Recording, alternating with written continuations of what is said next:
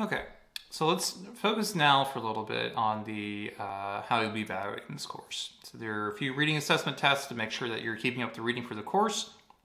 Uh, there's no midterms, there's no exams in this class. Uh, there's just those reading assessments. Um, you're expected to participate in discussion on Packback.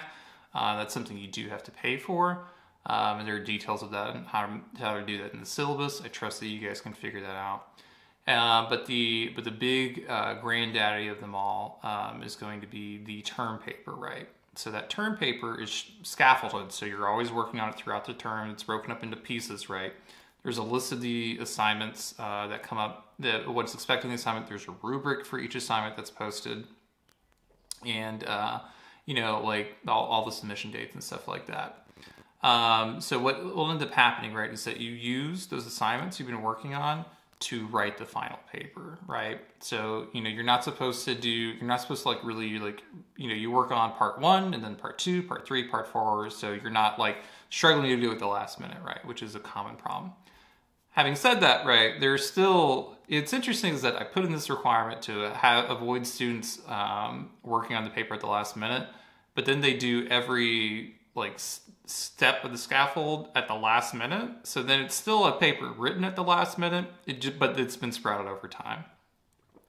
I think students just like underestimate how much time and effort goes into writing a good paper and they either can't make the time or they don't make the time or they don't know like when to ask for help kind of thing or they don't make changes right all those are recipes uh, for like a disaster right really what it would be really nice for you guys to do is to take things more seriously, spend more time working on each uh, segment of the paper because this is something that makes or breaks students for the term, right? So, you know, for this, like, you know, if we think about all these assignments, right, I'm trying to help you by breaking up the work and so that you can do it right. But if you're not willing to do the work, even if it's broken up, or you're not willing to do a good job with it, um, you know, then it's not you know don't be surprised if your term paper reflects it right? You know just because you've been working on something for a while doesn't mean it's any good. How do i know? I write papers that get submitted to journals right? And i work on things for a long time and then i get a comment back from someone in my field who's like you're an idiot. And i'm like oh. And i look at it later i'm like oh i guess i am an idiot. I get it. I've lived it. I've lived it a lot really. It was all through grad school and undergrad right spend some time on it to make it like a quality thing, but don't think that just because you put a lot of time and effort into some time into something doesn't mean like it's of high quality, right? So what I mean by that is make sure you're answering all the assignment prompts, make sure you're reading the rubric. Um, I have examples listed uh, in the paper for like what kinds of grades you could get, like an A paper, C paper, an F paper, so you can ha- use that as like a rough guideline. Um, but I really like one of the it, it sucks like you know having to like fail someone because they just didn't put time into the class right? And that's true for a lot of papers right? There's just no effort. It's clear that the student didn't read that they misunderstand concepts um, they weren't listening to, to prompts that I have in class or maybe they never showed up in class right? Or they thought that they could just ask the GroupMe rather than me the professor who knows everything about the assignment and expectations um, and that's not a good recipe for either right Point being is that, you know, like as much as daunting and as scary as the paper may be, um, it's going to be a lot worse if you avoid it, right? And as hard it is to write, maybe you're anxious about your writing or having other people read it.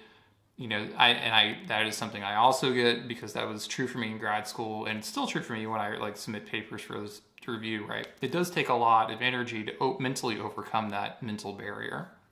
So I would advise you to, as much as it sucks, be proactive in asking for help, for clarification, or whatever. Um, you know, I'm pretty good at uh, answering emails. I'm pretty good at you know being here for office hours. So are on Zoom, um, you know, for now. But you know, later on in the term, you have the option of coming in person. Um, you know, but you have to make the time to do it. Side note about office hours: uh, I, I know my times aren't good for everyone. Feel free to set an appointment. Let me know what you want to talk about. Let's walk things through.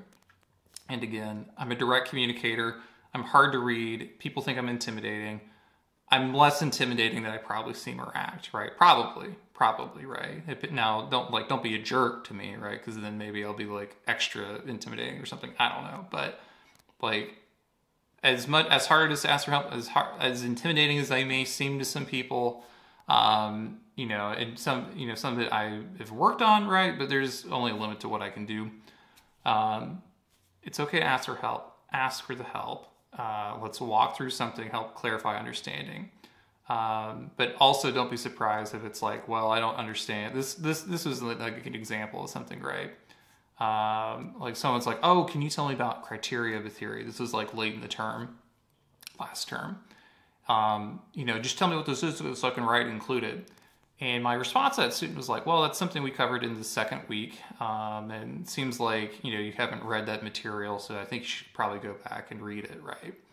And that student um, did not react well. And I said it in more or less the exact same tone of voice. Um, and I, and they did not react well to that.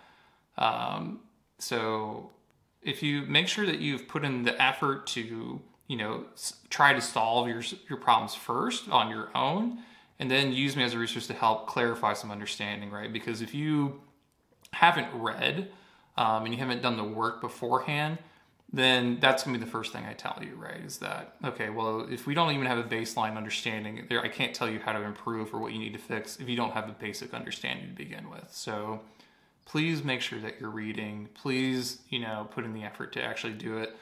I know it sucks. I know it's not fun. It's really going to improve you down the long run, right? Read first, watch the videos, you know, and everything like that. Okay, so we'll go ahead and end here, and then we'll kind of talk more about the assignments in the uh, next video.